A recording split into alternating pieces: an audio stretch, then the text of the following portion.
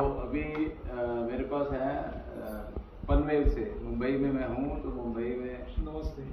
है मेरे पास इनकी बेटी को था आईटीपी तो आईटीपी के वीडियोस बहुत सारे पहले भी बनाए हैं मैंने। आईटीपी इडियोपैथिक थ्रोम्बोसाइटोपेनिक परप्यूरा इतना लंबा चौड़ा नाम है परंतु आयुर्वेद में ऐसा नहीं लिखा होगा इंग्लिश में।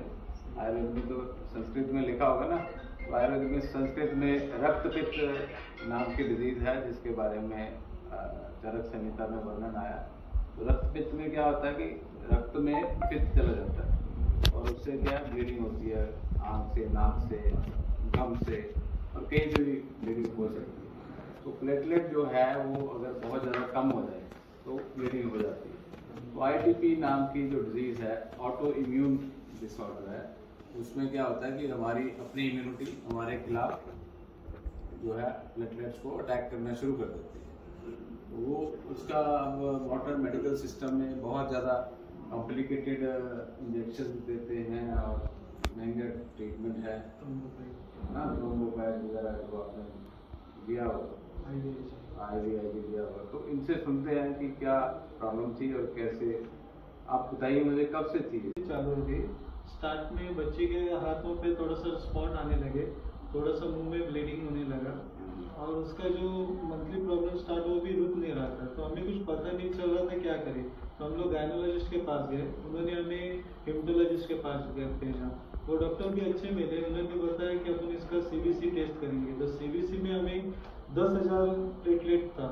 ये कब की बात? ये जुलाई 2021 की बात है। ये इतनी मोटी फ़ाइल है। हाँ इतनी पूरी फ़ाइल है। उसमें पूरा उसका रिपोर्ट है। तो स्टार्ट कब से एक साल लगभग इसे कितनी देर तक सफ़र किया इस बीमारी से? ये अभी हो जाएगा। उसके मेरी दवाई एक साल से ली और उससे पहले एक महीना सिर्फ़ एक महीना। एक महीना ही। उसके बाद एक ही महीना ली एक ही महीने एक महीने में इतनी फ़ाइल बन गई। एक महीने में हाँ। उन्होंने कम से कम दो ढाई लाख हमारे हॉस्पिटल में गया क्योंकि आठ आई वी आई लगाए थे उन्होंने। अच्छा एक महीने में दो ढाई लाख का खर्चा भी किया हो। और फाइनल हुए। उसके बाद रिज़ल्ट क्या आया? तो ये हम बात कर रहे थे कि इतनी मोटी फ़ाइल बन गई एक साल में।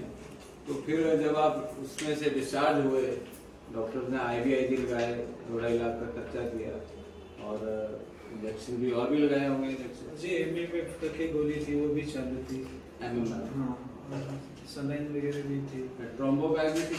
ट्रोम्बो बाद में बाद में उन्होंने चालू किया। तो उस समय कितने काउंट थे जब आपको डिस्चार्ज के लिए भी पैंतीस हज़ार काउंट थे। पैंतीस हज़ार तो उसके बाद फिर कितने लगभग रहते थे? बारह हज़ार सत्रह हज़ार।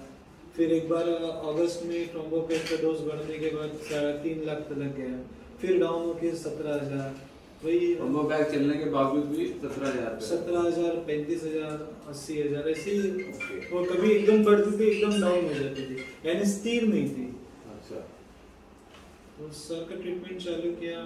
तभी से अभी ये मैंने ट्रोम्बोपेक सर बोलने के बाद बंद की।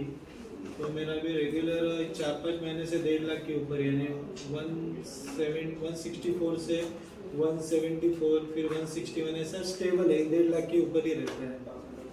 तो आपने कितना कौन सी मेडिसिन ली थी जो हमारे से? अश्वगंधा है कुमार कल्याण है प्रवाल पंचामृत है सुवर्ण बसंत नाम- है। आपको नाम याद है। इनको भी इनको भी पित्ता बैलेंस प्रवाल पंचामृत तो फिर इससे आपको कितनी देर में रिज़ल्ट आया? है अभी एक साल से ले रहे बट ट्रोम्बो बैग बन गया पाँच महीने हो गया। तो रिज़ल्ट ये पाँच महीने से उसका स्थिर है और देखा जाए तो जैसे आयुर्वेदिक चालू किया ना तो सत्तर हज़ार के ऊपर ही रहने लगा। तो अभी तो डेढ़ लाख के ऊपर पहुँच गया है। अच्छा अच्छा। तो इस तरह से जो है अब आपकी दवाइयाँ मैंने आदि कर दी है। जी हाँ। है? तो अब ये दो तीन महीने चलेंगी उसके बाद आप इसको दवाइयों को बंद कर सकते हैं। जी। जो एलोपैथी की दवाइयाँ वो तो बंद ही है। आयुर्वेदिक की भी आदि कर दी है वो भी दो महीने में बंद कर देगा और बताने की बात है कि डाइट का बहुत वैल्यू इसमें। और सुबह ये बहुत मेहनत करती थी। सुबह ग्रीन जूस और शाम को रेड जूस रेगुलर एक दिन भी हमारा तो आप इनसे पूछते हैं कि क्या इसमें क्या डालते थे आप? ग्रीन जूस ग्रीन जूस में पुदीना रहता है। पुदीना। हाँ। और? हाँ, धनिया। धनिया। हाँ। वीट ग्रास वीट ग्रास आप खुद से उगाया था? खुद से उगाया था। खुद से उगाया? हाँ। तभी तो ठीक हुई है वो। हाँ। इतनी मेहनत आपने करी। पुदीना भी लगाया पुदीना भी लगाया। अच्छा वीट ग्रास भी खुद से हाँ वो घास रहती है दुर्वा घास। दुर्वा घास। और मेथी के पत्ते मेथी के पत्ते पालक का पत्ता। पालक का पत्ता एक पपई का आधा पान। पपैया का पत्ता। हाँ पत्ता। तो ऐसा हमारा सुबह ये ग्रीन जूस और शाम उसके साथ एक आंवला जूस देते थे सिर्फ़ नॉर्मल आंवला। अच्छा। और शाम को अपना रेड जूस अच्छा। रेड जूस में अनार अ, कुछ मिला तो रेड ग्रेप्स मिला तो गाजर बीट बीट शाम को अनार का रस सेब का रस हम्म। गाजर का रस चुकंदर का रस। ये सब रेड जूस हो गया। तो सुबह ग्रीन जूस रेड जूस ये जो रेड जूस और ग्रीन जूस है ना ये अगर कोई कैंसर पेशेंट भी लेता है या कोई और किसी भी बीमारी से ग्रस्त कोई पेशेंट लेता है तो उसको डेफिनेटली फ़र्क पड़ता है। तो आईटीपी नाम की डिज़ीज़ में इसमें काफ़ी अच्छा रोल है।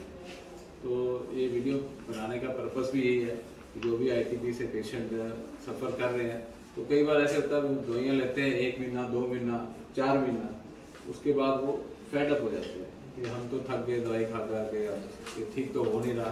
परंतु तो ये ठीक कई बार साल भी हैं। लगते हैं। और एक मेरी पेशेंट है उसने दो साल तक दवाई खाई। दो साल बाद उसको रिज़ल्ट आया उसका वीडियो आज मेरी बात हुई है उसका मैं ऑनलाइन वीडियो बनाऊँगा। उसने आना था आ नहीं सकी।